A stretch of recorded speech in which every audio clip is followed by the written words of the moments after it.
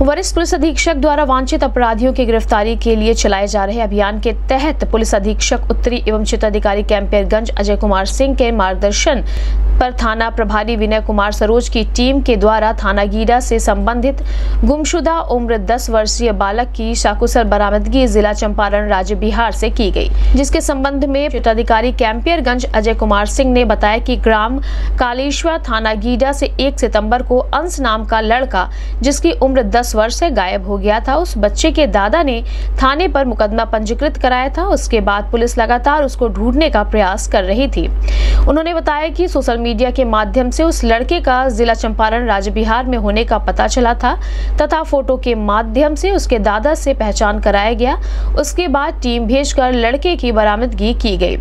बरामद करने वाली टीम में मुख्य रूप से गीरा थाना प्रभारी निरीक्षक विनय कुमार सरोज तथा उप निरीक्षक सूरज सिंह की अहम भूमिका रही। इस संबंध में गोरखपुर न्यूज़ से बात करते हुए सीओ कैंपियरगंज अजय कुमार सिंह ने कहा।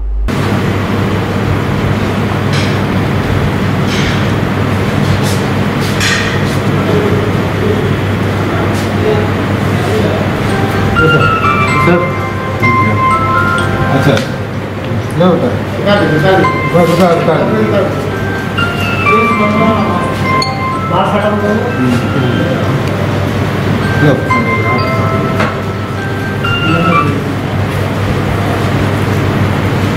वीडियो वायरल हुआ क्या हाँ वही वही वीडियो पता वही सर जब वहाँ बिना देखे दोनों लगे लिपट के रोने पूरा वहाँ भीड़ लग गई सर दो दादा और पोता था दोनों ऐसा सही बात अब यही इनका सहारा है कोई बचा नहीं पूरी। माँ और दादा है नहीं। माँ और उनका है नहीं। कोरोना पीरियड में सर एक गाँव पड़ता है कालेसर वहाँ से एक नौ 2021 को एक अंश नाम का लड़का जिसकी उम्र करीब 10 वर्ष है वो गायब हो गया था।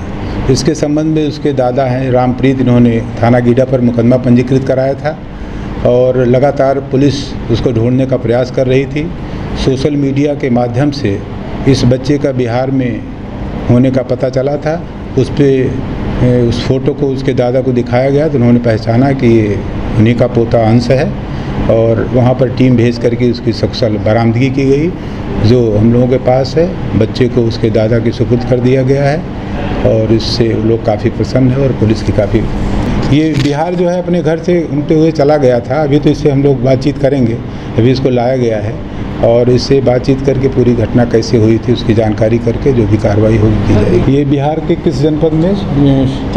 चंपारण। से बरामद हुआ था। हाँ, इसमें हमारे प्रभारी निरीक्षक विनय कुमार सरोज गीडा के हैं और उप निरीक्षक श्री सूरज सिंह। इनका विशेष योगदान रहा है। इन लोगों की पूरी मेहनत से इसको सफल बरामद कराया जा सकता हाँ निश्चित वरिष्ठ पुलिस अधीक्षक महोदय के द्वारा इनको पुरस्कृत किया जाएगा। इसका निर्णय सब लेंगे।